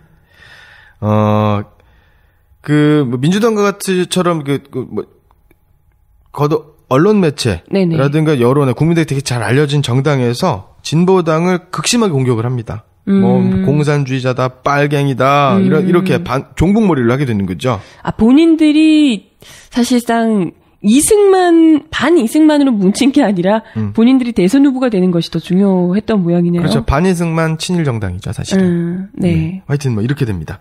어, 그러고 나서 이제 진보당이 이제 결성이 되는데요. 네네. 어, 그래서 이 진보당의 이제 혁신적인 그 정책이 두 가지입니다. 네. 최초로 평화 통일을 음, 주장했었던 정당이고요. 그다음에 또 피해 대중 구제론. 음. 이 피해 대중이라고 하는 게 바로 일제 강점기 음. 일본 제국주의로부터 피해를 입고 음. 그다음에 또 한국 전쟁, 6.25 전쟁으로부터 피해를 입고 음. 이승만으로부터 당연한 피해를? 네. 입고 있는 대중들을 구해야 된다. 음. 이게 정치의 할 일이다. 네네. 이제 주장을 했던 거죠. 네. 예. 당연히 정부가 해야 될 역할인 것 같은데. 그런데 이 진보당하고 결국 민주당이 야권 연대를 그래서 하는 건가요? 마는 건가요? 이제 하게 됩니다. 아. 이제 56년에 이제 세 번째로 대통령이 출마를 했죠. 네. 이승만이 이승만 대통령이 그때 나이가 이제 81세입니다. 아이고 참. 네. 최대 그 그리고 이제 뭐 지금이야 70, 80세도 한참 음. 활동을 하실 나이지만 어, 그 당시 1940년대 50년대 80살이다라고 하면 네. 대단히 이제 고령이었던 아, 거죠. 그렇죠. 예. 어, 이렇게 되는 거. 그리고, 그리고, 어, 이 당시에는 이승만이 대통령 되는 것도 중요하지만, 음. 이승만 대통령의 건강에 굉장히 문제가 되기 때문에 부통령이 되는 것도 대단히 음. 중요한 겁니다. 네, 그 그렇죠. 부통령은 이기붕. 예, 저번에도 이야기하셨죠? 예. 어, 그리고 나서 그 민주당에서는 대통령 후보가 신익희. 음. 그 다음에 그 부통령 후보가 이제 조병옥. 아, 부통령 후보가 장면이 네네. 되는 겁니다. 네. 예, 이렇게 이렇게 하는데 어. 뭐 아시다시피 대단히 관건 선거, 금건 선거가 되게 자행이 됩니다. 음. 그리고 이제 4.4.5입 개헌. 네네. 아까 이제 반올림으로 해서 예. 개헌을 통과시키고 네. 이렇게 되니까 야권의 힘으로는 야권 각 정당들이 각기 나누어져서 음. 싸워서는 대통령 이승만 독재 권력을 심판할 수가 없는 겁니다. 음. 그러니까 국민들로부터 야권 연대해라, 후보 단일화 해라 라는 요구가 아주 그냥 물밀듯이 음. 올라오게 되는 거죠. 네네. 그러니까 어 어쩔 수 없이 민주당도 네. 어쩔 수 없이 진보당도 음. 다른 정치 세력들도 후보 단일화 에 대해서 고민을 하게 되는 거죠. 음, 일단은 이승만을 꺾기 위해서 야권 연대를 해야 되는 예. 상황이 된 거죠. 예. 그 당시에 민주당의 선거구호가 유명한 못 살겠다 갈아보자. 어. 그 다음에 자유당은 갈아봤자 별 수 없다. 부관이 명관이다. 아우, 끔찍하네요. 예. 그때 진보당에서는 바로 평화통일 피해대중구제. 음. 그러니까 어 이승만은 북진통일 아닙니까? 네. 전쟁해야 돼요. 네. 그러면은 우리 아들 딸들이 또 전쟁에 나가야 됩니다. 그렇죠. 또 죽어야 돼요. 네. 바로 전쟁을 겪은 세대니까요. 그리고 국민방위군 사건에 10만 명에 가까운 무고한 청년들이 추위에 군대가 나- 끌려가기도 전에 굶어 죽고 얼어 죽는 음. 일이 생기고 네네. 그다음에 막대한 원조를 통해서 막대한 원조를 통해서 어, 경제를 부흥시키라고 미국이 도와줬는지는 잘 모르겠지만 네. 그게 도와줬는데도 불구하고 결국에는 그러한 돈들 그다음 원조 경제 혜택이 국민에게 돌아가지 않죠. 그렇죠. 네. 이런 일들이 벌어지게 되니까 그러니까 국민들 입장에서는 농림부 장관으로서 토지 기업 음. 또 진영성 있게 추진하려고 했었고 음. 그다음에 또 이 전쟁 전쟁 그 지금도 전쟁 얼마나 무섭습니까? 그렇죠. 전쟁 겪은 지 2, 3년도 안 됐습니까? 음. 그 주위에만 가도, 가봐도 무너진 포탄에 폭격에 맞아가지고 음. 무너진 그다음에 전쟁 나서 죽은 사람들이 가족들이 있는데 네네. 평화 통일하자는데 그렇죠. 남북이 화해하자는데 음. 그 진정성이 다가왔던 거죠. 음. 예. 그러니까 어 그냥 그 저, 뭐야 민주당에 못 살겠다 갈아보자라고 하는 게 피상적이고 감성적인 것보다는 얼마나 구체적이고 현실적인 정책이었습니까? 그래서 진보당의 지지율이 굉장히 높아져요. 음. 그러니까 민주당으로서도 야권 단일화에 응하지 않을 명분 자체가 없었다는 겁니다. 음. 그래서 후보 단일화를 하게 되나요? 신익희와 조병암, 조봉암 예. 두 사람 간에? 먼저 선수를 치고 나간 게 조봉암 조봉암 후보인데요. 네네. 어, 필요하다면 정통 정부 통령 어. 어, 후보 지명을 백지화하겠다. 진보당에서. 그 아, 당시에 포기를 하겠다군요. 예, 진보당의 대통령 후보가 이제 조봉암 부통령의 박기출 이렇게 음. 됐었는데요. 나아가서는 조봉암 자신의 출마까지도 취소할 수 있다. 음. 다만 다만 어, 다만 책임 정치를 수립하자. 수탈 없는 경제 정책을 실현하자. 평화 통일을 성취하자. 음. 이러한 정책을 대통령 후보의 정책으로 내세워야 된다. 음. 그러니까 어, 후보직을 사퇴할 테니 진보당이 혁신적이고 국민들 위한 정책을 받아라. 음. 아우, 참. 예. 이게 이런 정치인들이 좀 많아야 되지 않을까요? 네. 개인 권력욕 때문이 아니라 예. 이런 정책을 해준다면 하기만 해준다면 나는 얼마든지 사퇴하겠다라는 예. 이야기. 그리고 이제 진보당이 대통령 출마를 포기할 테니 음. 부통령 후보를 양보해라. 음. 네. 여기서 문제가 생긴 겁니다. 어. 야권 단일화를 하게 되면 관권 선거, 금권 선거를 자행했었다 하더라도 네. 야권이 똘똘 뭉치니까 그죠. 부정 선거나 관건선거가 없으면 야권 단일화하면 권력 교체 됩니다. 우리 보지 않았습니까? 그렇죠. 예. 그랬는데, 그럼 이제 이승만 자유당 정부에서는 이제 불안한 겁니다. 음. 그 다음에 또 한 명 불안했던 사람이 있었던 거죠. 누군가요? 바로 장면입니다. 아, 장면 총리. 예. 장면 총리에 대해서 또 이야기를 드리고 가야 될 것 같은데요. 예. 네. 그래서 오늘 준비한 예. 현대사 열전, 현대사 네, 열전이 바로 장면에 대한 겁니다. 네, 먼저 일단 듣고 와서 이야기 이어가 볼게요. 예. 현대사 열전 장면 총리 1899년 8월 28일 인천에서 출생하였다. 장시명은 다마오카 스토무이다. 1917년 경성제국대학교 농과대학의 전신인 수원 고등농림학교를 졸업하였고 동성상업학교 등의 교직 생활을 하다 1933년 경성제국대학에 입학하였다. 1938년 친일 부역단체인 국민정신 총동원 조선연맹 간사에 선출되었고 그해 10월 국민정신 총동원 조선연맹 산하의 비상시 국민생활 개선위원회 위원으로 선임돼 명동 천주교회를 국민정신 총동원 조선연맹에 가입시켰다. 이런 활동은 제7대 국무총리로 임명될 무렵 과거 전력 논란의 원인이 되기도 하였다. 이승만의 반공 노선을 지지하였던 장면은 과도 입법의원으로 선출된 후 국립서울대학교 설치안을 발의하였다. 많은 반대가 있었지만 미군정의 진압으로 무리 없이 통과되었고 이로 인해 경성제국대학은 그대로 국립서울대학교로 개편된다. 1956년 정 부통령 선거에서 민주당 신익희의 러닝메이트로 부통령 후보에 출마하였을 때 자유당이 부통령 후보 이기붕에 의해 그가 친일파라는 내용을 인쇄한 벽보와 그의 얼굴을 일본인의 얼굴과 합성한 벽보들이 거리에 나붙기도 했다. 1930년 4.19 혁명으로 총리가 된 장면은 대한민국 정부 수반으로서는 최초로 일왕 히로이토의 생일에 축전을 보냈으며 내용은 다음과 같다. 이 뜻깊은 천황의 탄신일을 맞이해 본인은 한국 정부와 국민을 대표해 충심으로 축하의 뜻을 표하며 천황의 끊임없는 건강과 귀국의 번영을 기원하는 바입니다. 1961년 박정희가 5.16 군사반란을 일으키자 5월 17일 새벽 6시경 홀로 카르멜 수녀원으로 피신했다. 군사반란 주동자들은 장면을 찾는데 혈안이 되어 있었지만 외무부 장관의 전화조차 받지 않았으며 주한미국 대사관에도 자신의 은신처를 밝히지 않았다. 장면에 대한 평가는 정치사적으로 대한민국 정부 수립 후 최초로 의원 내각제를 실시하였다는 점과 4.19 이후 혼란스러운 전국 상황에도 불구하고 민주적 선거 절차를 통해 정권 교체를 이루었다는데 긍정적 평가를 내릴 수 있지만 리더십 측면에서 장면은 나름대로의 근대화에 대한 이상과 정책을 갖추고 있었지만 체제 정당화와 정권 유지와 관련된 정치적 안목과 기술 그리고 엘리트 장악력이 부족했던 것으로 평가되고 그의 이러한 단점이 5.16의 한 원인이 된 것으로도 평가된다. 장면에 관해 14대 대통령 김영삼은 박정희는 역사적 죄인으로 쿠데타가 없었으면 그가 나라를 잘 이끌었을 것이라고 평가했다. 예, 간략, 예, 간략하게 이제 장면에 네. 대해서 이제 말씀을 좀 드렸는데요. 네, 이 사람이 근데 왜 불안해지는 건가요? 예.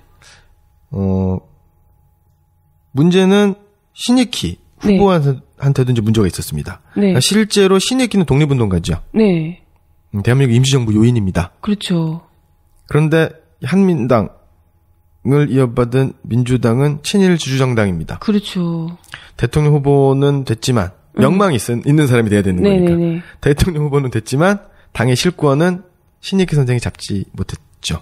아, 일단 대통령 그냥 그럴싸한 사람을 내보낸 거군요. 신익희 예. 선생이 당 내에서 그러니까 물론 민주당 안에 일부 독립운동을 하셨던 분들이 계시지만 그분이 당의 주주가 아니었다는 거군요. 그렇죠. 그냥 국민들 보기 좋으라고 내놓은 후보. 민주당의 극우파, 즉 네. 보수 반공주의자들은 신당 추진 때부터 조봉암이라든가 혁신 진보 인사나 진보 세력을 배척했죠. 음. 그러니까 이 야권 단일화 카드를 받기 받을 수가 없는 겁니다. 싫구나. 일단 확인했다고 하는데 계속해서 싫어했군요. 예. 어. 그리고 이 과정에서 가장 후보 단일 후보 협상을 반대한 사람이 장면입니다. 어. 그러면 신익희로 단일화를 하게 되면 음. 그뭐 조봉암이 기꺼이 양보하겠다, 사퇴하겠다, 음, 음. 후보 등록 취소하겠다라고 얘기했었습니까? 그러면 당연히 대통령 후보는 신익희 선생이 되는 거예요. 그렇죠. 그러면 부통령 후보는 누가 돼야 됩니까? 진보당에서 예. 해야죠. 속된 어. 말로 장면 입장에서는 듣보자 박기출한테 부통령 후보를 줘야 되는 거예요. 어. 가만히 있으면 그냥 내가 할 건데. 예. 그러면 대통령 후보도 양보하고 부통령 후보도 양보해라. 라는 얘기인가요? 예. 그게 무슨, 그게 무슨 연대예요? 예. 큰 연대 자체가 안 되는 거죠. 네네. 그러니까 박, 그 장면의 성격상 그걸 또 얘기할 수도 없는 거고. 어, 정치인이 어, 또 대통령 후보를 양보할 테니 부통령 후보를 줘라. 이럴 수는 없는 거고. 그래서 네. 어, 조직적으로 어, 참모 출신들하고 음. 참모들하고 음, 단일화 추진 회의를 보이콧하기로 하고 실천에 옮깁니다. 아, 아예 단일화 자체를 못하게 하려고? 예. 아, 그러면 어차피 둘 다 안 되는 거 아니에요? 단일화가 안 되면? 야권 연대가 그렇죠. 안 되면? 신익희가 당, 당선되는 보는 당선되는 걸 보는 것도 괴로울 거고 응. 그다음에 또 박기출이 부통령이 당선되는 것도 상상할 수가 없는 거죠. 그럴 바에야 차라리 자기 세력, 자기 계보, 자기 정파의 세력 보존을 하는 것이 낫다. 아, 정말 개인적인 권력욕만 어마어마하고 나라가 어떻게 되든 상관이 없었네요. 예. 이 대세로 봤을 때, 그 당시 여론을 봤을 때도요, 어, 단일화만 성공한다면 신익희의 당선 가능성은 굉장히 높았다 라고 어. 보는 겁니다. 어, 1956년 5월 3일 날, 네. 어, 그, 한강 백사장. 네. 지금은 이제 그 한강 둔칠해가지고 공원도 만들어 놓고 어, 어. 지금 모래밭이었어요. 그래서 예. 수영도 하고 그랬는데, 여기서 그, 신익희 후보의 선거 유세가 있었습니다. 네. 어, 당시 신문에서는요, 서울 시내 상가가 거의 철시했다. 음. 문 닫았다. 그 다음에 또 서울 시민이 그 당시 200만이었는데요. 20만 명이 유세장에 모였다. 어. 야, 인기가 어마어마했네요. 예. 이대로만 되면 정말 제대로 된 그것도 독립운동가 출신의 그렇죠. 대통령이 될수 예. 있는 거기에다가 조봉암 후보가 이승만을 공격하고 국민을 위한 노동자 농민을 위한 정책을 펴면서 후보 단일화를 해버리면 시너지 효과가 어우. 진짜 감동적인 그 그렇죠. 경선 드라마죠. 요즘 그렇죠. 그러면 이제 정책적으로도 굉장히 완성적인 그런 정책을 그렇죠. 할수 있었을 그러니까 테고요. 어 이념적으로 좋습니다. 그 민족주의자와 과거 사회주의자였던 사람의 만남. 네. 그러니까 그 남북의 어떤 그 또, 또 남과 북의 이데올로기 갈등 그다음에 또 남한 사회에서의 좌익과 우위의 대립 갈등도 대립과 갈등도 네. 그쵸. 봉합할 수 있고 화해할 수 있고 두 분 다 독립운동가. 출신이세요. 어. 건국의 정당성, 권력의 정당성도 있을 뿐만 아니라 네. 아, 그렇게 정말 너무나도 멋진 드라마가 될 수 있었는데 어쩌다가 예. 뭔 일이 발생한 건가요? 그래서 이제 이제 5월 3일 날 이제 유세가 있었고요. 네. 5월 5일 날 단일화 결정을 하기로 한 날입니다. 어. 그래서 전주에서 만나기로 했어요. 신익희 네. 후보하고 조봉암 후보가 아, 단일화를 하기로 이제. 그 하루 전 네. 5, 5월 4일인가요? 예. 어, 선거운동 도중 신익희 선생, 신익희 후보가 급서, 갑작스럽게, 음, 사망하는, 서거하는 일이 생깁니다. 아니, 왜요? 뭐, 건강이 안 좋으셨나요? 어, 그 물을 마시고, 그 갑자기 이제 뭐 돌아가셨다라고 하는데요. 물을 마시다가. 이- 아니, 물을 마셨고, 뭐 이랬는데, 네. 어, 돌아가셨다라고 하는데, 이게 이제 굉장히 지금 그, 어. 왜- 그 뭐랄까, 의혹이 굉장히. 아, 뭐 연세가 아주 많으셨나요? 연세가 뭐 적은 것은 아니었지만요. 네. 어, 여기에는 그 이승만과 이기붕을 개입했다라는 게 있습니다. 아. 어, 그 부검을 했었더니 그 진료했었던 그 의사, 의료진하고 그 신익희 선생님의 부인 네네. 내 증언에 의하면 창자가 시커멓게 썩어 있었다. 부패 있었다. 아, 그때 뭔가, 예, 5월이면은 날이 예. 따뜻할 때 아닙니까? 그렇죠. 리고 뭐 그 심장마비라든가 심근경색이라든가 이럴 날 수 있는 네, 때가 네. 아니에요. 그때는 이제 온도 차가 많거나 굉장히 추울 때. 네. 그러니까 그 가을에서 겨울, 겨울에서 네. 봄으로 올 때. 그때 지금 나이 드신 분들이 심근경색이라든가 심장마비라든가 음. 뇌졸중이라든가 이- 이런 게 좀 많이 오는데 요런 계절도 아니었고. 네. 그래서- 창자가 썩어 있었으면 뭔가 음독이라든지 이런 걸. 그렇죠. 그 이제 그 열차에 보면은 열차에 그 음료수 파는 네네. 어그 판매원들 있지 예, 않습니까? 이 그렇죠. 사람을 매수해서 이기붕하고 이승만 측에서 매수해서 했었다. 어, 그래서 아. 음독으로 어, 살해했다라는 의혹이 되게 강하게 제기되기도 그러네요. 했었어요. 그 당시에. 사실 뭐 우리가 장준하 선생님도 그렇고 역대로 그런 식으로 정적을 제거 해 왔던 이 사례들이 너무 많이 봤기 때문에 이승만은 또 정- 정적 제거의 명수 아닙니까? 아, 그렇죠. 뭐 김구 선생, 영훈여 선생님 다 뭐 줄줄이 제거했던 인물이기 때문에 이 역시도 그것도 자기의 인기를 훨씬 더 뛰어넘는 국민적 지지를 받고 있던 분이었기 때문에 그렇죠. 아마도 그러지 않았을까 싶네요. 아, 뭐 그래서 이, 런 상황이 됩니다. 그러니까 네. 다양 그뭐 신익희 선생님이 갑작스럽게 서거하는 바람에 급사하는 바람에 자연스럽게 대통령 후보가 단일화가 되는 거죠. 아, 그러네요. 그러면 이제 원래 단일화하려고 했던 두 사람이었는데 한 분이 안타깝게 사망을 하셨으니까 그렇죠. 그럼 조봉암 선생님으로 대통령 후보가 되는 거 아닌가요? 당연히? 그렇죠. 그 조봉암과 이승만의 대결. 네. 그다음에 부통령 선거는 이기붕하고 장면의 대결. 어, 어, 그렇게 하면 사실 뭐, 장면 총리도 뭐, 그때 당시에 부통령 후보 자리 내놓기 싫다고 그렇게 했었는데, 예. 되는 거 아닌가요? 그러니까 되게, 되게 극적인 거죠. 근데 이제 이, 런 판단을 좀 할 수가 있는 겁니다. 네. 정치학학적으로 신익희 선생님이 조봉암과 단일화를 하려고 하다가 섬, 서거하는 음, 비극적인 일이 발생했습니다. 네. 그러면 이 표가 신익희 선생님을 추모하는 지지표가 조봉암에게 모이면 네. 그 파괴력이 점점 커지는 거죠. 그렇겠죠. 당연한 그렇죠? 거 아닌가요? 예. 그렇게 되면 어 조봉암 후보가 대통령에 당선될 가능성이 굉장히 높아져요. 음, 그러면 반면에 장면이 당선될 가능성은 떨어지게 됩니다. 왜냐하면 네. 어왜 우리나라 그 국민들의 그 선거 투표 심리상 한쪽에 몰아주질 않아요. 그러니까 아, 예를 들어서 그러니까 뭐 여당도 한 명 뽑아주고 야당도 한 명 뽑아주고 뭐 이런 어. 국면도 좀 있었던 거고요. 어, 예, 같이 나가더라도, 대통령 후보, 부통령 후보 나가더라도 그렇게 되는 건가요? 예, 그런 가- 가능성이 좀 있는 거죠. 어, 근데 이제 그것이야 뭐 나중에 판단하고 말 문제니까 네네. 이것은 뭐 제 개인적인 사견이라고 이제 봐도 좋은 건데 네네. 어 이것보다 더 본질적인 문제가 있습니다. 그럼 네. 민주당은 어떤 선택을 할 거냐? 지금 야권 단일화가 합의된 상태는 아니에요. 음, 그렇죠. 그렇죠. 그러니까 실, 합의를 하러 가다가, 예, 그렇죠. 실체적으로는 조봉암 후보밖에 대통령 후보는 없는 건데 음, 신익희 선생은 신익희 선생은 후보가 되어 있는 거죠 지금. 네네. 예. 그러니까 민주당은 어떤 어떤 선택을 할 것이냐? 조봉암을 단일 후보로 지지할 것이냐? 음, 아니면 지지를 거부할 것이냐? 그리고 아까 말씀드렸지만 장면이라든가 그, 그 민주당의 보수, 음. 반공 보수 세력은 대다수의 반공 보수 세력들은 어 조봉암을 지지할 것을 거부하고 있었단 말이죠. 그러면 신익희 선생께서 돌아가신 와중에도 조봉암 선생까지 거부를 하게 되는 건가요? 그렇죠. 어, 그러니까 민주당은 그 조봉암을 지지 않는다는 입장을 공식적으로 응. 하게 되죠. 그리고 나서 이런 얘기를 합니다. 조봉암에게 투표를 하느니 차라리 이승만에게 표를 주라 라고 호소를 합니다. 헐, 그래서 신익희를 추모한다면 네. 신이, 신익희에게 투표해라. 아유, 무슨, 아유, 정말 나라 생각이라고는, 나라 국정이라고는 조금도 하지 않는 인간들이네요. 어쩜 그럴 수가. 신익희 선생께서 참 좋아하셨겠습니다. 아유, 참. 근데 또 그런 여론몰이에 또 국민들이, 우리 또 국민들이 특히나 누가 돌아가시거나 이런 것에 또 많이 휩쓸리는 편이잖아요. 마음도 이제 정이 많고 이러다 보니까. 또 그쪽에 투- 투표해 주세요 하면 또 신익희 선생에게 많이 또 투표를 했겠네요. 그렇죠. 그래서 신익희 선생의 그 추모표가 엄청나게 나오죠. 음, 어, 이, 사- 이 상황에서 장면으로 보면 이승만과 신익희의 대결은 의미가 없어지게 되는 거죠. 그렇죠. 이승만하고 조봉암 누가 되든 상관없는 거예요. 음, 그러면 장면 이기붕 요거만 요게 중요한 거죠. 음, 여기에 정면 승부를 하게 되는 거죠. 음, 여기 이제 올인을 하게 되는 겁니다.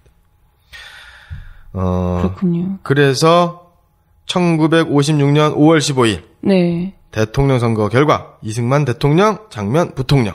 하, 그런데 이것이 이제 이 장면과는 장면의 의도는 상관없이 이승만 정권에게 심각한 위협을 주게 됩니다. 음, 뭐 어. 장면 부통령은 그럴 의도는 아니었다 하더라도 예. 어찌됐건 이승만 정부 입장에서는 또 그렇죠. 야권에서 당선이 된 거니까. 예.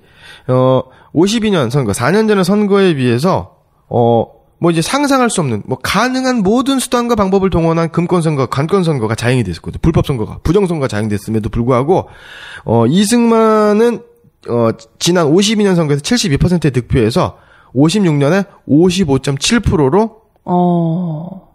투표율이 20%가량 이제 떨어지게 되죠. 온갖 관권 선거 다 했는데도. 예. 조봉암은, 어, 1952년에 11.4%에서 1956년에 23.8%. 와, 굉장히 많이 나왔네요. 그러니까 유효 득표의 30%. 어. 그렇군요. 예. 그리고 그리고 원래 그 당시에 그 어떤 선거의 패턴이 뭐냐면 여촌 야도라고 해가지고요.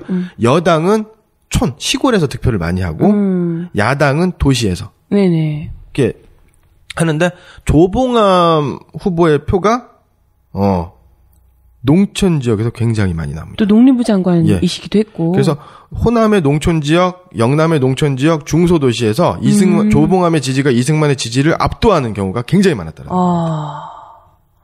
아, 참. 신익희 선생님 계시고 했었더라면 참 얼마나 예. 드라마틱했을까 싶어요. 그다음에 대도시에서는 신익희의 추모표가 많이 나와요. 음. 그러니까 야권 여 그 야권이 단일화가 되면 농촌에서 조봉암이 음. 진보당이 그다음에 도시에서 신익희. 민주당과 예. 신익희가 합쳐지면 아, 독재 권력, 어마어마했겠네요. 독재 예. 우리나라의 독재 정치는 없어지게 되는 거죠. 그렇죠. 당장의 국민의 힘으로 그렇게 피를 많이 흘리지 않고도 예. 이뤄낼 수 있었을 겁니다. 어 이때부터 이승만은 그 다음 4년 후의 선거에 대해서 고민을 하게 되는 거죠. 그래서 이승만이 이길 네. 수 있는 가능성이 이제 없어지는 겁니다. 네. 예. 이제 점점 더 커지고 있는 조봉암을 없앨 필요가 생긴 거고요. 예. 그래서 이제 진보당 어, 이 조봉암 선생을 빨갱이다 이렇게 몰아서 예, 되는 거죠. 네. 어, 그래서 창당 1년 만에 그 자유당, 민주당과 함께 3대 정당으로 급부상한, 급성장한 진보당에 대한 탄압, 음. 보수 반공 세력, 그다음에 네. 또 이승만의 탄압, 그다음에 또 민주당의 방조로 음. 조봉암과 진보당이 탄압을 받게 되는데요. 네. 어, 1958년 1월 12일 어, 경찰은 진보당 위원장이었던 뭐 진보당 당 대표겠죠. 네. 어, 진 조봉암을 위시하여 간부 10여 명을 국가보안법으로 검거 투옥합니다. 네. 어, 그리고 조봉암에 대해서 간첩 혐의로 어, 대체 어디에 간첩이었을까요? 독립운동을 하시다가 예. 그 어디 다른 데에서 갑자기 날아온 사람도 아니고 독립운동을 하시다가 계속해서 이 조선 한국 땅에 조선에서 또 이제 한국 대한민국 땅에서 농림부 장관까지 하셨던 분이 어떻게 간첩이 될 수가 있었을까요? 이게 말도 안 되는 얘긴데도 그 당시에 그게 먹혀서 결국은 사형까지 선고받으시고 목숨까지 잃게 되신 거잖아요. 예. 참이 정적을 제거하는 방식 참 음. 네. 여기에도 그 뭐 조작된 간첩 스파이였었던 양명산이라는 사람으로부터 네. 어, 뭐 조봉암 선생께서 돈을 받았다. 알고 북한의 돈인 것을 알고도 받았다. 네. 북한의 지령을 받았다. 네. 라고 하면서 어 그런 간첩 혐의를 네. 모함을 받고 지령을 1900 받았으면 뭘 받았을까요? 대체 이해할 수가 없네요. 그런데 정말로 조봉암 선생님이 간첩이었나 빨갱이였나? 네. 어 그럼 조봉암 이외에 다른 사람은 다 무죄로 석방이 됐습니다. 그러 그거에 더 말이 안 되네요. 그렇죠. 만약에 정말 진보당 자체가 조봉환 선생님과 이런 분들이 간첩이었으면 나머지 분들도 다 유죄를 받아야 마땅한 거 아닌가요? 같은 조직에 있었던 사람인데. 그렇죠. 그 나중에 그 이제 뭐 지금 최근 몇 년 전이죠. 네. 어, 진보당의 정강, 정책, 평화통일론이 국시에 위반되지 않으며 헌법에 보장된 언론 자유의 한계를 벗어난 것이 아니라는 사실이 대법원 최종 판결에서 증명이 됐죠. 네. 결국은 이미 돌아가시고 나서 예. 무죄 판결을 받은 셈입니다. 아, 결국은 그러면 이승만 대통령은 본인의 정적들, 그때 대통령 선거 나왔던 신익희 선생, 예. 뭐 조봉암 선생 다 처리를 한 셈이네요. 그렇죠. 하나같이 예. 뭐 그 이전에도 뭐 여운영 선생, 김구 선생 해서 다 그렇게 처리를 예. 했었고 정적 제거 분야에서는 인간 문화재급의 어떤 기술과 능력을 발휘하는 사람이 바로 이제 정말 예. 이승만이죠. 음. 이분들이 만약에 이승만 정부에 의해서 암살이 되고 살해되고 사법살인 당하지 않았더라면 대한민국이 지금처럼은 절대 아니었을 것이다 이런 생각을 하게 됩니다. 너무나도 아까운 분들이 우리 국민들에게 정말 힘이 되고 또 귀감이 되는 존경받는 인물들이 하나같이 딱 한 사람에 의해서 예. 그렇게 사라졌네요. 어, 결국에는 그 조봉암 선생의 사형, 그 네. 다음에 그 진보당 사건으로 네, 인해서, 어, 이때가 이제 1959년 7월입니다. 네, 어, 그 다음 해가 바로 1960년 대통령 선거가 있었던 해고요. 이게 바로 이제 3.15 부정선거. 음, 그래서, 어, 부정한 독재 권력이 음, 국민의힘으로 심판받게 되는 계기가 네, 되었었고, 어, 진보당의, 진보당과 조봉함을 반대했었던, 배척하고 탄압하는데 앞장섰었던 민주당이 네, 다시 4.19 혁명 직후에 권력을 잡지 않습니까? 그렇죠. 1년 만에 또 군사, 박정희 군사 독재에게 음, 권력을 빼앗기지 않습니까? 네, 어, 여기서 얻을 수 있는 교훈은 여러 가지가 있을 텐데요. 어, 진짜 진보, 진짜 보수를 네, 나누는 것도 중요하지만 정말 국민을 위한 그렇죠. 정책, 국민을 위한 진정성 있는 헌신을 하는 정치인과 정치 집단이 누구인지를 네, 바라보는 판단하는 안목 있어야 될 네. 거고요. 어, 독재 권력의 연장과 독재 권력의 횡포에 음, 모른 척하고 네, 심지어는 거기 그 그러한 횡포에 협력하는 사람들과 정치 집단은 어떤 사람들이고 어떤 집단인지 우리 네. 눈으로 좀 똑똑히 봐야 될 것이고 또 한 가지는 어 진보 세력만의 힘으로 네. 그다음에 또 야권만의 힘으로는 어 독재 권력, 부정한 권력의 횡포를 중단시킬 수 없다라고 하는 네. 힘을 합쳐야만 국민을 위한 정치, 그렇죠. 노동자, 농민, 민중을 위한 정치가 가능하다라고 하는 것을 각 정치 세력과 정치인들은 가슴속 깊이 새겨야 되지 않겠나라는 네. 생각이 듭니다. 아, 네. 61강으로 1956년 최초의 야권연대, 안타깝게 실패로 돌아간 최초의 야권연대 편을 함께 하셨습니다. 그리고 우리 방송 말미에 또 코너를 하나 마련을 했죠. 역사 대자뷰. 요즘의 현실과 또 묘하게 오버랩이 되는 과거 역사는 어떤 게 있을까 한번 짚어보고 마무리를 하면 좋을 것 같네요. 예, 어, 요즘 뭐 신문에 많이 나오죠? 네. 어, 청와대 문서가 유출되었느니 마느니, 네. 문고리 권력, 정윤회 게이트라고 하죠. 예, 음, 배후 실세, 네. 뭐, 십상시라는 말이 나오죠? 네. 예, 오늘은 십상시에 대해서 아, 알아보도록 하겠습니다. 이게 우리나라의 역사는 아니고 중국의 역사죠? 그렇죠. 네. 어, 중국 후한 네. 말에, 어, 그 조정, 권력을 장악했던 환관, 네. 음, 10여 명을 지칭하는 용어입니다. 어, 어떤 사람은 10명이라고 하고요. 어떤 네. 사람은 12명이라고 하고요. 그래서 음. 10명이라고 해서 십상시라고 음. 하는 겁니다. 어, 보통 이제 환관을 네. 얘기하는데 이- 우리가 환관은 그 생물학적으로 남성의 기능이 제거된 사람을 네 네. 만을 의미하는 것은 아니에요. 어. 그러니까 국왕의 황제의 측근에서 황제를 음. 보필하는 사람들을 총체적으로 네네. 환관이라고 하는 거고요. 네. 예. 어, 십상시에 그 휘둘려가지고요. 그 당시 후한말의 영제라고 하는 황제가 네. 나라 일을 뒷전에 두고 거친 행동, 음. 포악한 행동을 일삼아서 나라를 망하게 하는 네. 인물이죠.